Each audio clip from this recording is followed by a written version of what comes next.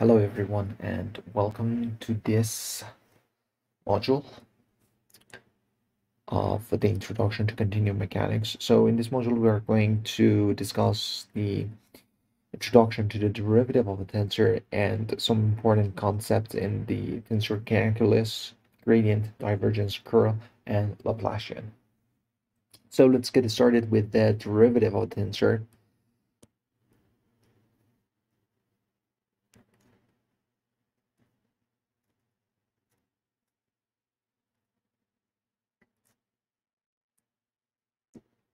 And this is more or less quite similar to, uh, to the concept of the derivative, uh, the definition of derivative uh, during your undergraduate or you might incur this in at high school.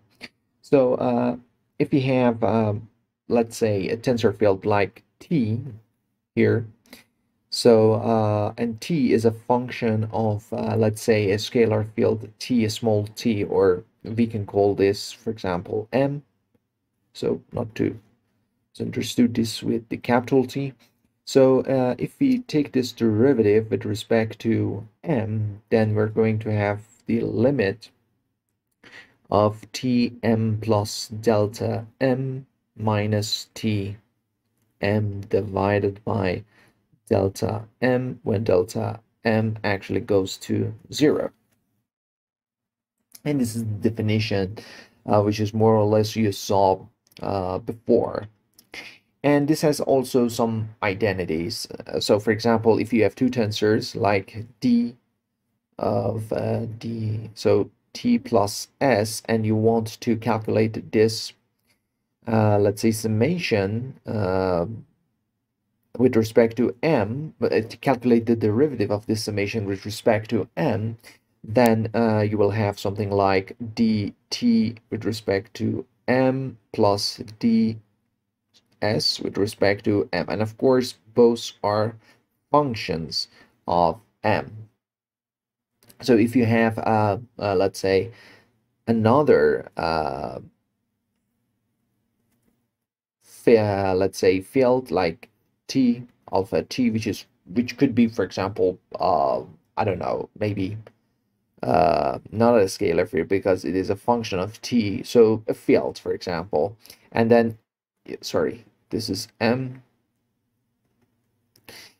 and you want to calculate uh, the derivative of alpha m times t with respect to uh, dm, then you you will have d alpha with respect to m times t plus alpha dt over dm. So the derivative of t with respect to m. And of course, remember that uh, this is uh, the same as, you know, uh, the things we had before. So uh, if you had the product of uh, two two variables and they were like, you know, uh, for example, like fx and gx, and you wanted to calculate this with uh, the derivative of their product with respect to x, so you uh, you get something like df of x over uh, with respect to x, gx plus then uh, you had fx d g of x divided by x dx or the derivative of gx with respect to dx with respect to x. And this is more or less like this one. Uh, so if you have uh, two tensors like t and s so their uh, product with respect to s so uh, this becomes the derivative of t with respect to m times s plus t d uh, the derivative of s with respect to m. And then we have uh, something like d of uh, let's say uh, ta a is a vector for example with respect to m so we get something like uh, let's say dt with respect to m a plus t dA with respect to m. And if you have uh, d of t transpose with respect to m, for example, then you'll get something like dt dm. So the derivative of t with respect to m, t uh, transpose.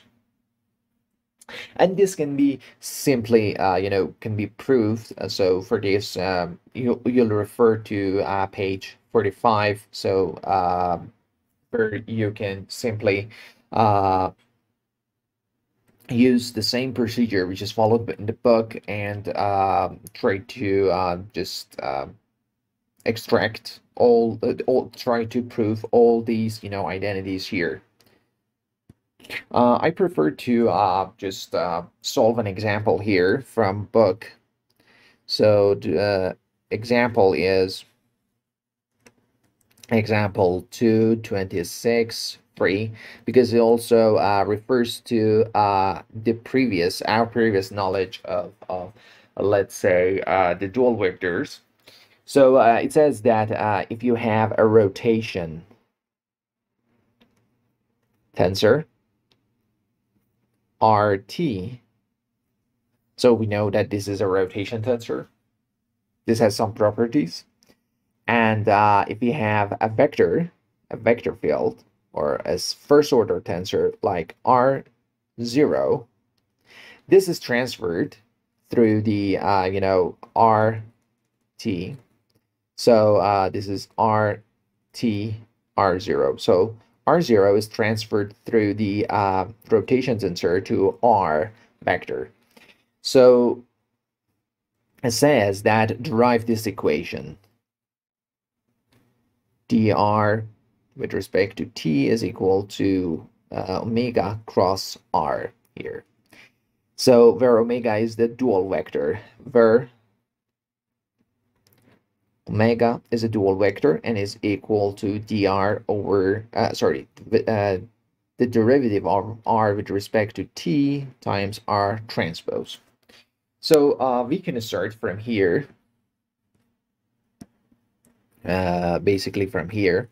So we have, uh, let's say, r t is equal to rt R0. So R0 is transferred through this rotational tensor to R. So if we take the derivative of R with respect to T, so we're going to have dRT with respect to T, R0 plus RT dR0 with respect to T and this is basically zero because this is not uh, because r0 is not a function of t so it becomes zero. And finally we get uh, this expression here. Uh, so from uh, let's say from 1 from here we can also uh, since this is r is a rotational tensor so if r is equal to r r0 so then we can have R transpose R is equal to R transpose R, R0. And this is nothing but the identity uh, tensor. So this is I R0, which is equal to R0. Therefore, we have R0 equal to R transpose R. And I call this 1. Maybe this is 1 and this is 2. So if we substitute 2 in 1, we get something like dr dt. I'm not going to rewrite this t here, or maybe write it here. Uh, no, it's better not because we haven't written this in here. So we have dr uh, with respect to t is equal to, so instead of writing this r0 here, so I have dr over dt r transpose r. And you see here that this is omega.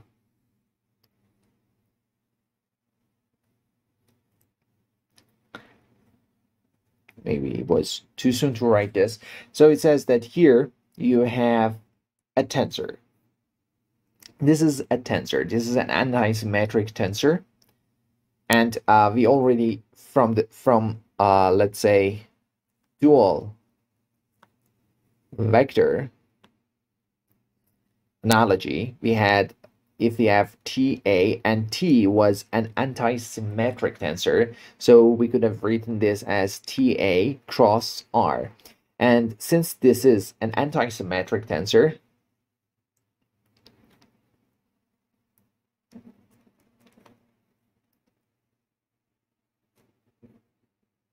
so uh, this is going to act like this t here.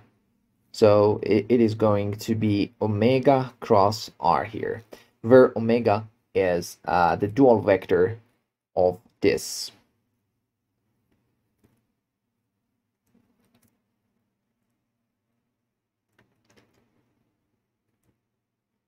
dr dt r transpose. So next uh, we have the gradient, so the concept of the gradient and also the gradient of a scalar field.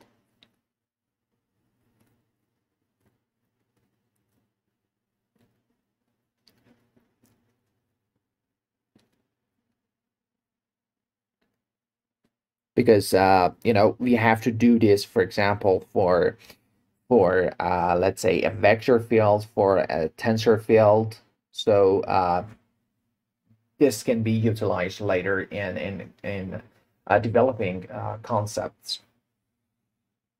Later concepts. So so uh, we have phi which is a scalar field. And uh, this is a function of r. So that means that for each value of r you get a value for phi. So for example if this is a temperature field so for example for t uh, for time equal to zero you get a temperature which is zero for example for 0.1 this is S, and for example, this is degrees Celsius, uh, you get, for example, 2 degrees. For 0.3, you get 5, and something like this. So what I mean by this, uh, by a scalar field, it, it means this. So, uh, and we define uh, the actually the gradient like this. So uh, if we define d phi with respect to r. So it is how this is changing, how phi is changing with respect to r. And I put r here because I wanted to show that phi is a function of r. Uh, and uh, this is phi r plus dr minus phi r divided by dr. And we basically show this by this nabla and then phi here. And we call this the, the del operator here. Uh, so uh, this is uh, the gradient of a scalar field phi. So this is the gradient, or maybe gradient of phi. We call this the gradient of phi. And this is also written in the form of the phi is equal to del phi dot dr. So it is dot product of the gradient. So uh, how phi is changing is the dot product of, uh, let's say, the gradient and the vector dr. So uh, let's suppose that uh, we divide both sides of this equation here with the magnitude of uh, dr. So we have d phi divided by dr. I show this uh, by these two uh, straight lines here, these pipelines. And then I have uh, del phi dot dr because we know that this is a vector. So I wanted to distinguish between these two, the magnitude and the vector. So I have dr here. And this is nothing but the unit vector. So this shows that uh, if we want to know how uh, phi is changing over r, so we only need the dot product of uh, the gradient and its uh, unit vector. So, uh, you know, that phi could be a function of, let's say, x1, x2, and x3 here for, you know, because we assume we have a 3D uh, space. So if we differentiate this phi with respect to uh, xi, and I use here the partial differential because we have x1, x2, and x3, so I can determine uh, which variable I'm uh, I'm differentiating with. So I'm gonna have uh, del phi dot ei. So that means that if I have del phi it is equal to partial derivative of phi with respect to x1 e1 plus partial derivative of uh, phi with respect to x2 e2 plus partial derivative of phi with respect to x3 3 e uh, let's say 3 uh, so you see here that the gradient of a, a scalar field is a vector field. So from a scalar field, we are moving to a vector field. So it is uh, it shows that we have uh, you know we are increasing in the order of of the field because we know that scalar fields they're zero order tensors But a vector field is a first order tensor. So here we are increasing the order of the field by one. So when we uh, apply the gradient on a tensor field, whether it is a scalar, second order, third order, or first order uh, tensor, we are increasing its order by one. So for example, if you have a vector field here and you apply the gradient operator here, or it's better to just apply it like this. So you will have a second order tensor. Uh, tensor field. A second order tensor here. So if you have a second order tensor and you apply the gradient, you will have a third order tensor. All right. So therefore, the gradient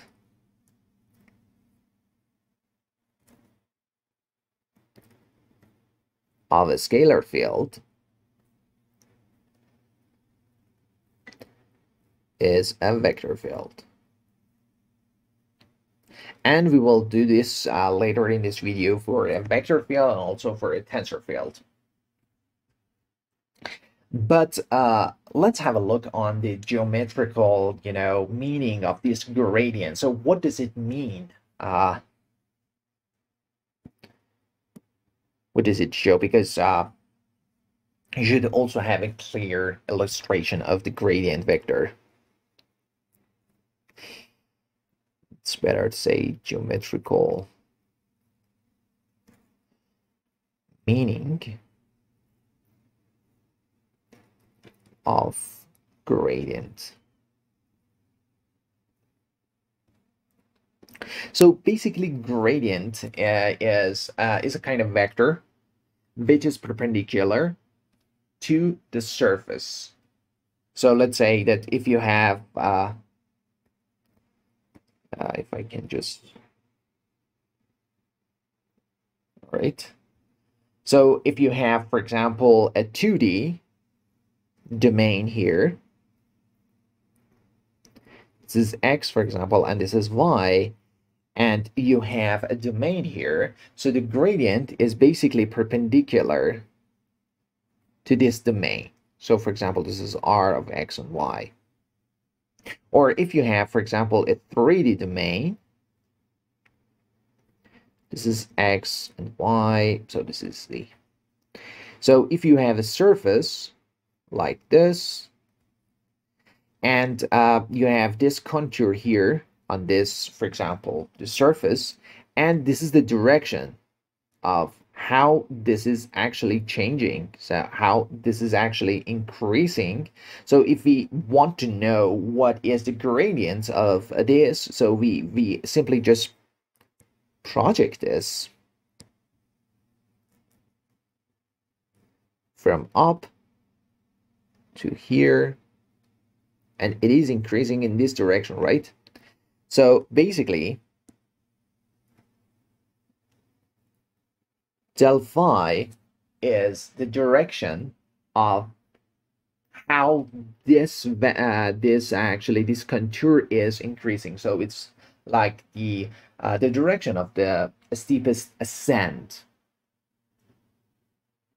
Or as the book said uh, del phi is maximum when it is when it, when dr is normal to the surface of constant. So it is always uh, if it is not zero del phi if it is not zero it is always perpendicular to uh, to let's say uh, to the surface.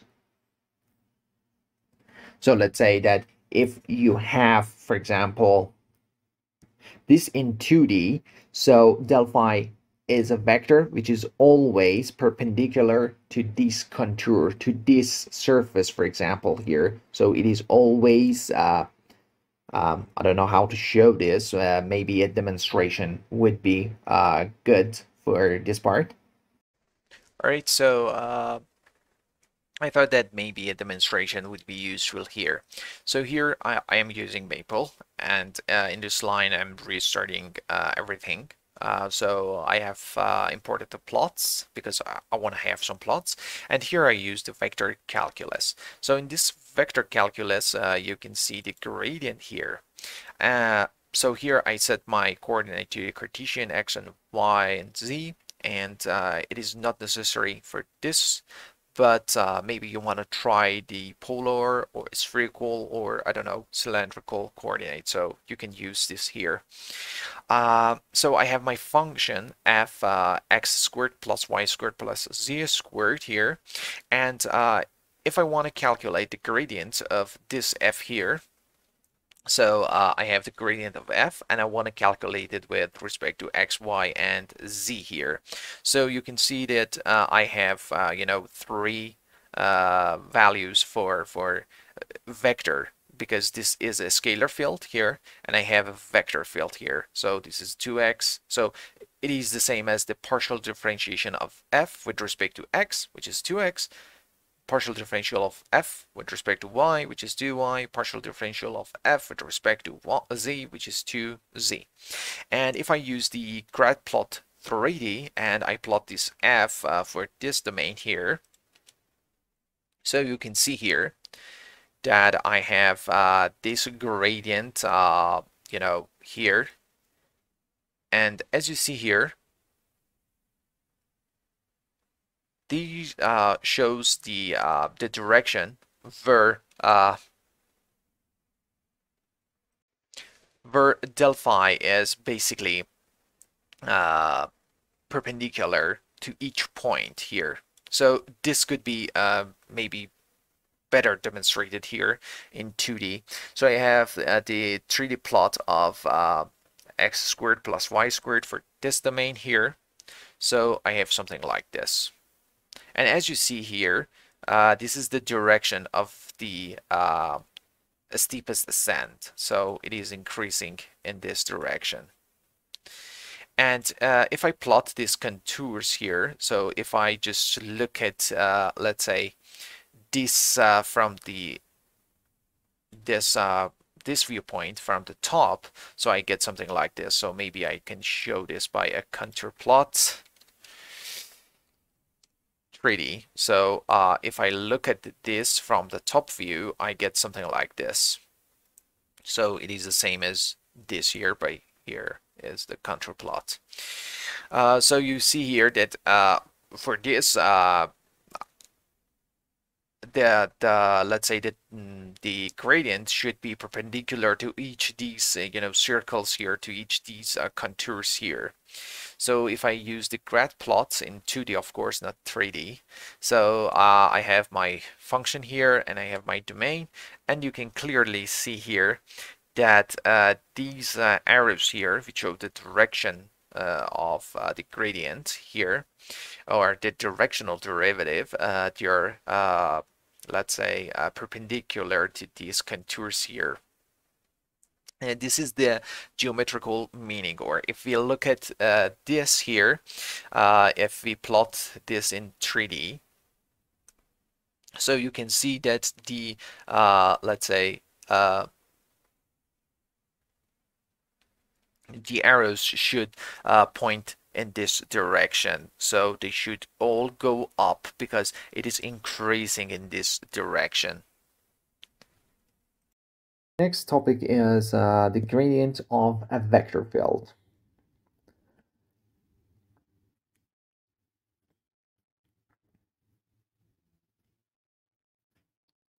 So to make life easier, we have to uh, I have to uh, mention something about the uh, you know the uh, different operators we're going to discuss in this module here, like the gradient, divergence, curl, and Laplacian. So uh, first, uh, I described something about you know the concept, the geometrical concept of the gradient.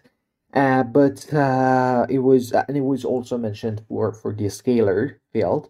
Uh, so we can define uh, this gradient, this nabla in the form of the partial derivative of a quantity, whether it is a first order, zero order, second, uh, third, fourth order tensor, uh, the partial derivative with respect to x, i, e, i, and here between these two I put, uh, uh, let's say, a dyadic operator here.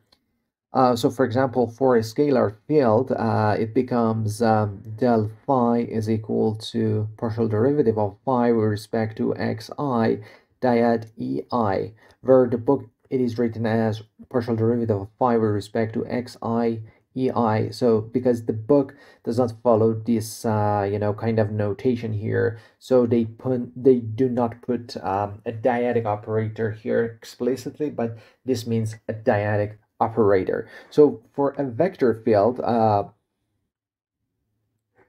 for a scalar field. Uh, then we have the vector field. So uh, del v, where v is a vector field. So I have uh, this v uh, j e j here.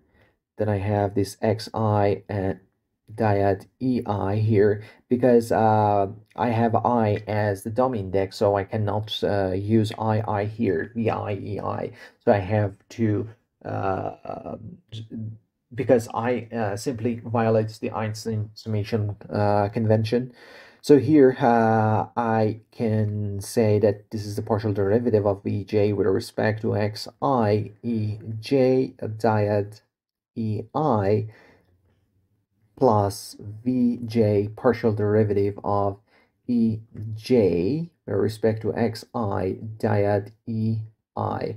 And here I can emphasize here that the partial derivative of this unit vector is uh, zero with respect to any kind of variable because uh, it is unity, it is a scalar. Uh, it has a scalar value so this actually become a partial derivative of uh, Vj with respect to x, xi, ej, dyad ei, and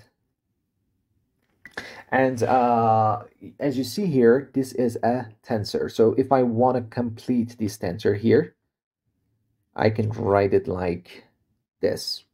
So if I say j is equal to 1, then I have partial derivative uh, v1, v2, oh, sorry, v1, v1 because j is 1.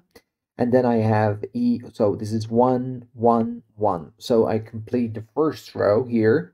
And the second, uh, let's say, the second uh, index here or subscript, uh, subscript here is uh, the for for the column. So i is x1, x2, and this is x3 so this is e1 dyad 1 this is e1 dyad e2 and so on and so forth so then for j equal to 2 I have partial derivative of v uh, let's say 2 v2 v2 with respect to partial derivative of x1 x2 and x3. And for j3, I have partial derivative of v3 with respect to x1, v3 with respect to x2, and v3 with respect to x3. All right, so uh, now using uh, this uh, formulation here, we will be able to define the, to actually to derive the gradient of a tensor field. And here by a tensor field, I mean a second order tensor. So, uh, and uh, one thing you have to bear in mind is uh, something that I already discussed before. So the, gra the gradient actually increases the order of, of your, your field. If it is a scalar field, it becomes a vector field. If it is a vector field, uh, it becomes a tensor. And if you have a second order tensor here, like tensor, something that we call tensor, becomes a third order tensor. We will say this uh, in a minute. So uh, the gradient of t, let's say t is a second order tensor, so it becomes t with respect to xi, e, i, oh, sorry, forgot this dyad, e, i. All right, so uh, this became this becomes uh, jk uh, e j uh, dyad e k, and this is partial derivative of xi, and I have dyad e i. Perfect. So uh, if I write this like partial derivative of t j k, partial derivative of xi e j dyad e k dyad e i plus tjk partial derivative of, oh, sorry, this, okay, nothing. So this is tjk, uh, partial derivative of ej, respect to xi, dyad ek, dyad ei, plus tjk ej, uh, dyad partial derivative of ek, uh, uh, with respect to xi dyad ei. And uh, here we know that this value is 0 basically, and this is also 0. Therefore, what we have here is partial derivative of tjk divided, uh, uh, sorry, with respect to xi. And uh, I have here ej, uh, sorry, J dyad E K dyad E I here, and this is a third order tensor. So we already see here that as second order tensor, actually it became a third order tensor. Next, we're going to uh, discuss the divergence. So for the uh, divergence, I try to use another color here. So the divergence of uh, a scalar field. All right, so uh, the divergence is, uh, so actually it characterizes how something expands uh, you already learned uh, about this, uh, you know, this divergence in your undergraduate math. And uh, we also had a divergent theorem where we were able to uh, uh, just um, map everything from uh, surface into volume, into volume and vice versa so we were able to doing this but uh, we will discuss this uh, in the last chapter the divergence theorem and uh, but here uh, we're going to define uh, we're going to uh, actually um, derive the equations of divergence for the sorry the divergence for the scalar vector and second order tensor. So we will be able to just derive to to find uh, the relevant equations for the for higher order uh, tensors. Uh, so something that you have to uh, know about is that the divergence of a scalar field does not exist. Why? Because when uh, when we have a divergence uh, of a scalar field, uh, basically uh, it is written it is uh, let's say written as the divergence of a vector field or something like this is written as a trace of del v and uh, the uh, and uh, and as you see here the uh, order of uh, this vector v actually degraded to uh, a scalar field. So uh, in divergence, we bring down the order of, uh, let's say, uh, our tensor. So if it is a scalar field, so it goes to something which is lower than a scalar, so it does not exist, so it is zero. if you have a vector, then you will have a scalar field. If, if you apply the divergence on a vector field, so uh, you get a scalar field.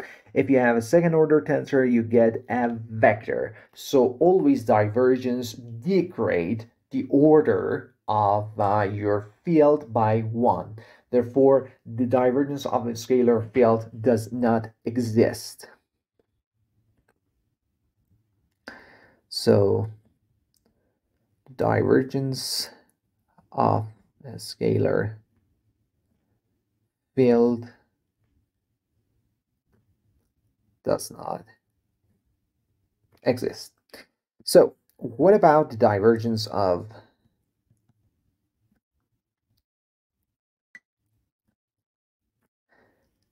a vector field? So the divergence uh, is basically can, uh, is uh, basically defined as, uh, you know, uh, for a vector field, the divergence of V is equal uh, is equal to the trace of, uh, you know, del V.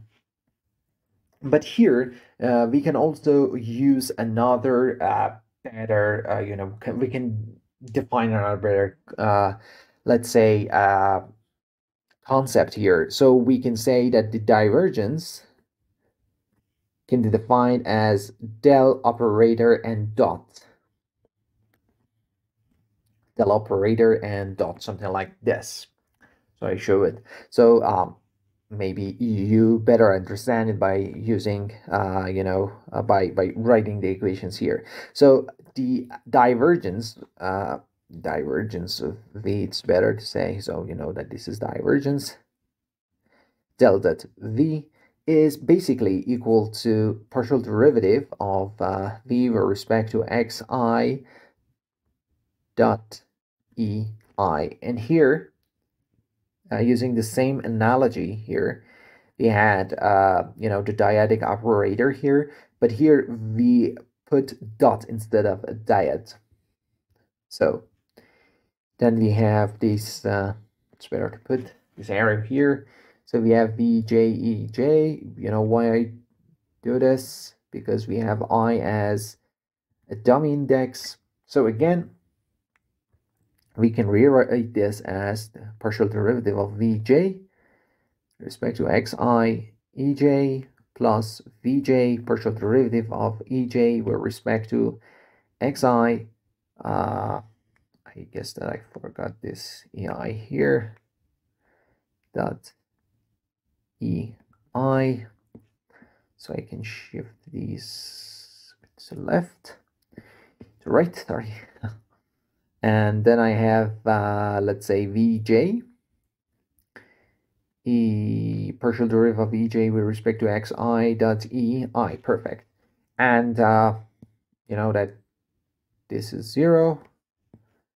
So what we get is partial derivative of Vj with respect to xi ej dot ei, and this is nothing but delta ij, right? So this is Vj xi delta ij. So if i is equal to j, then we have something like uh, partial derivative of vi vi with respect to xi.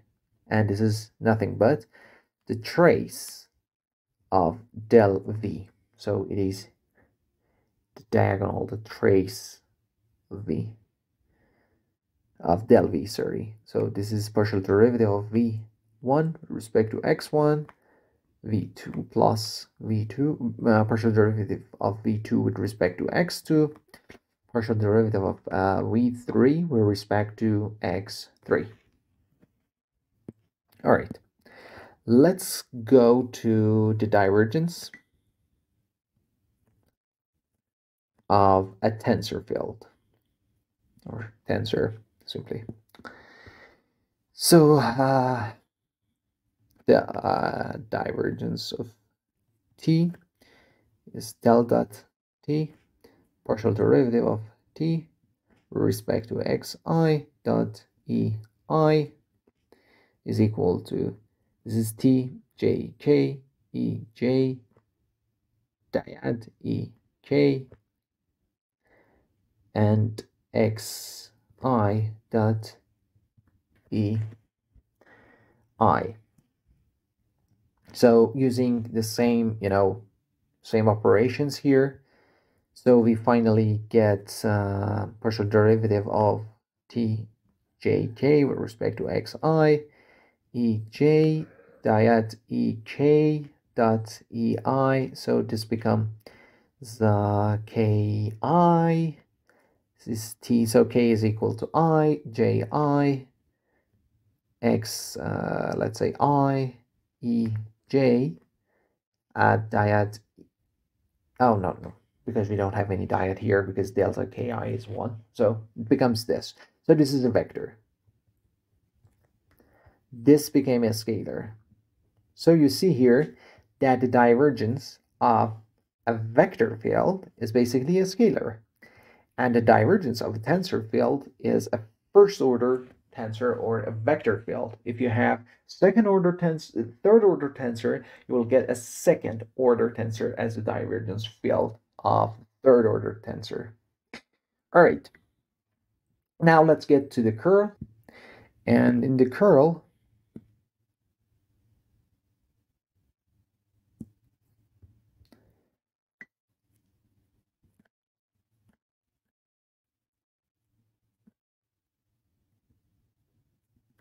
So in the curl of a scalar field, uh, so basically curl means, uh, you know, how something changes. So changes direction. And in basically in, uh, in a scalar field, you don't have any change. So everything is constant. That's why we say that uh, there is no curl. So there is no curl in a scalar field. So it is basically, it does not exist or it is zero here, but I would say it doesn't exist because it doesn't have any curl. So it is always constant. It doesn't change direction. So let's get to uh, the curl of a vector. So the curl of a vector is a vector, we'll see. So uh, the book actually uh, used this definition that the curl of V is two times its, uh, let's say, dual vector. But I would prefer to use uh, this curl V can be written, or curl, overall curl, can be written as del cross something. So del uh, operator cross uh, your your uh, your tensor field actually gives you that curl. Let's see how this works. So uh, if we have the curl of v, basically we mean that we have del cross v. So we have this operator here. So this v xi cross ei. So this is v, vj ej partial derivative with respect to xi. This is ei. So again, so if we expand this, we get something like partial derivative of vj with respect to xi, ej, cross EI. And you notice this is epsilon J I K E K. Partial derivative uh, of uh, Vj with respect to xi epsilon i j k e k. And you know, oh sorry, j i k. And you know that you have i j k, and now you're saying uh, j i k. So it is just uh, moving in the opposite direction. So this this is minus to uh, let's say vj xi epsilon i j k e k minus. And also you need to uh, make some changes because now here you're swapping uh, maybe before writing this it's better to to mention this that now if I want to write this in the form of epsilon i j k so uh, then I have uh, actually I am changing I'm swapping uh, i with j so this become vi and this is xj and this means okay? But if i'm doing this with one swap so it's become minus. All right. So uh, let's get to uh, the next part which is the uh, the divergence of a tensor field. All right. So uh, del cross T, or it's better to write die, sorry, uh, curl of T curl of V, yes, true. So del cross T is T partial derivative with respect to xi cross ei here. And I have my T, J, K, E, J, uh, dyad E K X I dyad uh, sorry cross E I here. Perfect. So uh, if we expand this here so we finally get partial derivative of T J K with respect to X I E I uh, sorry E J dyad E K cross E I. And this ki uh, basically is can be written as k i for example m e m. So this is uh, the partial derivative of j t j k uh, with respect to xi e j uh, epsilon k i m e j dyad e m. So this is a tensor and this is a vector. So you see here that the curl of a vector field is a vector and the divergence of uh, a tensor field is a tensor. So actually curl does not change the, let's say, the order of the tensor. So next we have uh, the Laplacian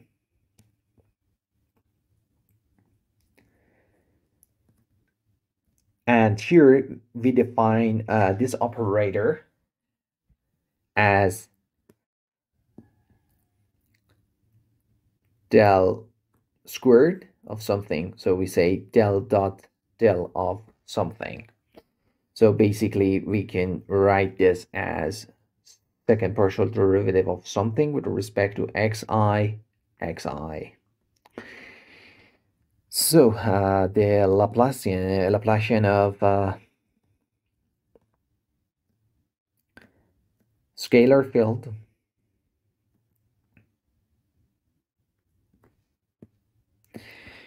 uh, it can be defined uh, based on this uh, you know uh, this definition here. So if you have del squared phi, so this can be written as del del phi so del dot, this del phi can be actually uh, written from here. So we just need to, for example, copy this to here.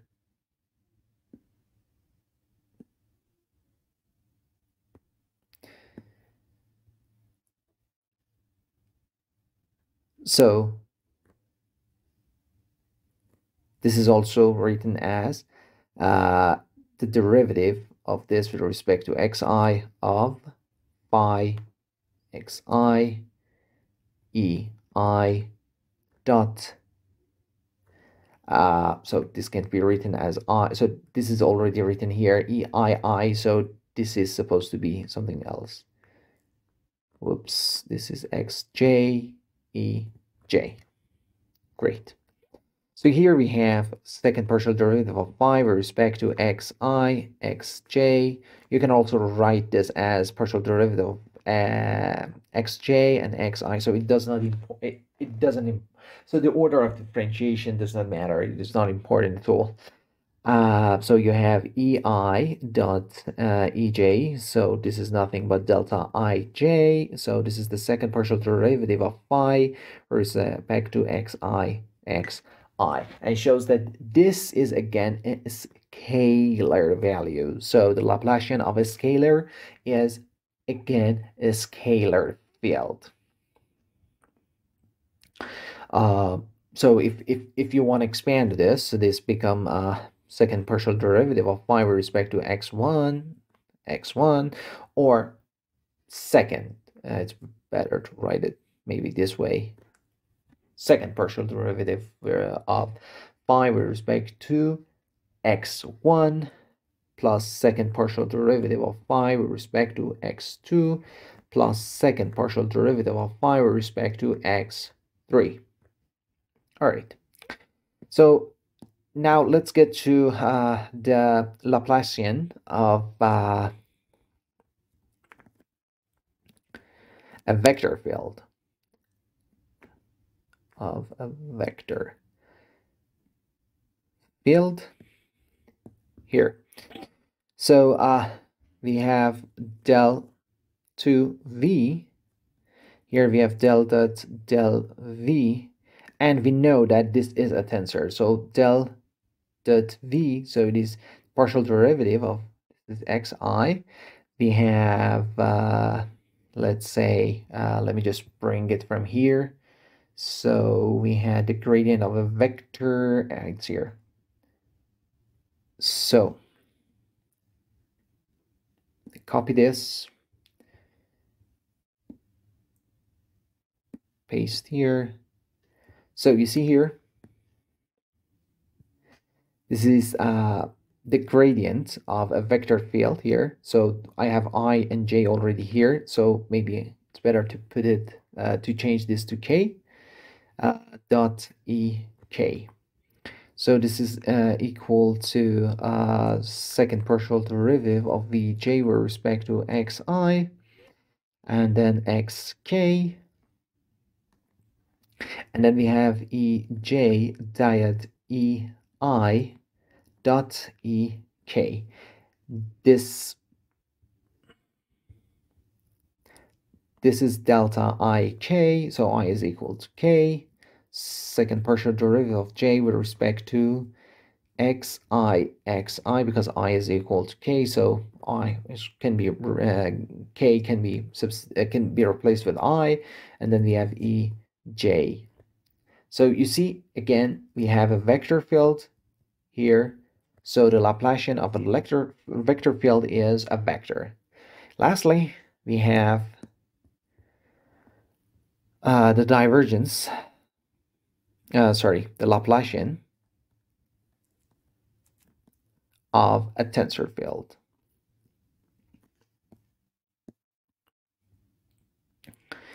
And if I just uh, bring the, the gradient of a tensor here, so this is the gradient of a tensor, it's a third order tensor.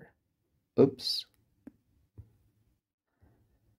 So I have uh, the del operator of a tensor. So it is del dot del t. So it is the partial derivative of, I paste it here, of this. So I already have j, k, and i occupied, so I use m. xm dot em. So this become second partial derivative of t j k respect to xi ej dyad ek dyad ei dot em and this is delta im so i can be replaced by m or vice versa. Second partial derivative of jk tjk xi and i guess that i missed. This is xi and this is xm for example. So uh, this can be also, m is replaced by i, so this is the second partial derivative of t, jk, with respect to xi, xi. Uh, so finally I have ej, dyad, uh, dyad uh, e, k.